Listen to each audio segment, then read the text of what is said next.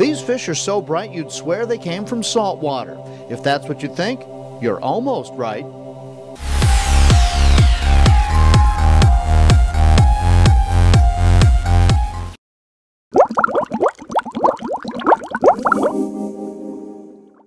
You are looking at something called a GloFish. In this case, the very common aquarium fish called a zebra danio, but in colors the world had never seen until just a few years ago.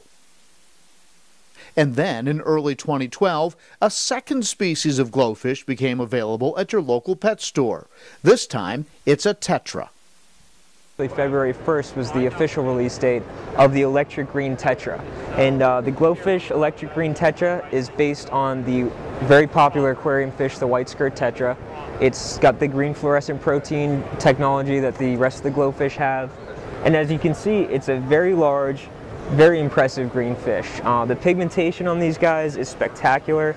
They're very, very evenly colored. The green even extends all the way into their fins. And uh, one of the nicest features, I think, is their eyes are very solid green as well. Beautiful fish and uh, already one of our fastest growing categories um, at Segrest Farms. It's been an incredible seller for us.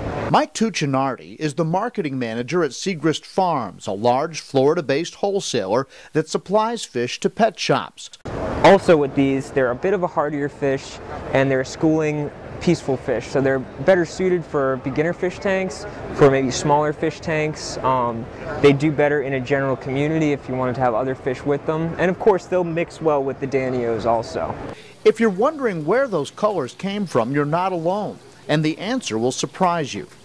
Oh boy, it's very complicated science, but to boil it down, it's inserting a gene, and in the green, it's, the, it's a gene from a fluorescent jellyfish, they insert that gene into the embryo of these fish and it expresses in the pigment of the fish. So these fish, of course, they develop like this. It's not a process that has to be done to every single fish either. It's, these fish will breed and their offspring will be green like that also. So we produce these just like we do our white skirt tetras or black skirt tetras. They're farm raised here in Florida on our farms and uh, it's, yeah, that, that's what the end result is. Perhaps the most interesting thing about GloFish is that they were born out of scientific research. Scientists at places like the Mayo Clinic and other universities are using them to try and find cures for cancer and other diseases. There's a lot of information and links to the medical research at their website, glofish.com. So the only question left is how do you best enjoy these fish in your home or business? With GloFish, it's a very different animal from the standard community aquarium.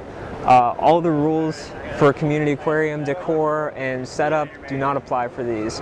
And what I recommend is a couple of things. Lighting, number one, is key.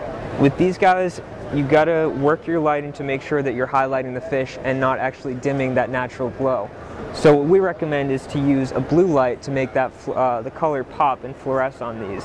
Under blue lighting, and this is just uh, standard blue LED lighting provided by Marineland, these guys glow very, very nicely. When you put them under a white spectrum, such as the tanks above, you're not going to have that. It might actually subdue some of that natural green. So blue lighting is number one. Number two, in terms of decor, you want to have a very dark base gravel. And that's another thing. The tendency with GloFish is to put a very fluorescent, bright colored rock on the bottom of the tank, and that can actually overpower and take away from the color of the fish. So we recommend dark gravel, either a dark blue or black, and a, uh, a, mix of small fluorescent stones if you want as accent pieces, but don't overdo it. And third, the plants. There are a number of plants commercially available that have colors that will accent the fish. Again, you don't want to go too bright, Pearlescent colored plants work really well.